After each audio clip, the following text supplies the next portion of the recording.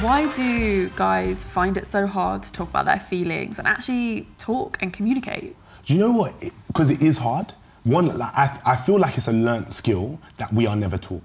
That like, if you're a boy who grows up with sisters, your sisters still get told, "Oh, come here and tell me how you're feeling," and you get told to stop crying. Do you know what I mean? Yeah, boys you don't cry. Yeah, you don't mm-hmm. learn those those skills of like how to express what you're feeling, and like the the acceptable expressions are anger and happiness.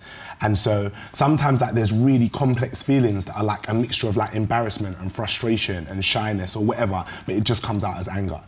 I don't know if you guys know, but like suicide is like the leading killer of men under the age of 49 now in the UK. Yeah. And my suspicion is that that's quite linked to like men not being able to express how they feel. It's a Um, lot. It's a lot higher than women, Right, yeah. Because we have a support network and we've been brought up Yeah. knowing that we can talk about our problems. Yeah, yeah, yeah. So I think if we can learn to talk about how we're feeling, it will just be better for everyone. It will be better for us. Do you know what I mean? Like if we can learn to express ourselves, which is hard. It's not that easy. We do an activity in workshops where we're like, oh, sit in a circle, and I just call it circle time. We go around and everybody has to give a word for how they're feeling, and they can't say fine, good, calm, hungry, tired, and it's really hard. Like to actually check in with yourself and think about how you're feeling.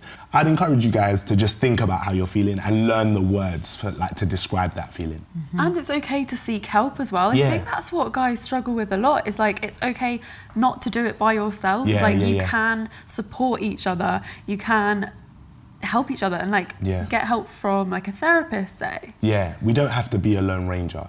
Going, Exactly. honestly, going to a therapist was one of, one of the best things that I've ever done, mm-hmm. and it wasn't necessarily because like I had mad issues. Do you know what I mean? It wasn't necessarily because I was feeling like I wanted to do something really bad to myself. Like it was just like, oh, I've got some stuff that I'm struggling to figure out. How do mm-hmm. I do that? Yeah. Maybe this person who's trained and is a professional can help.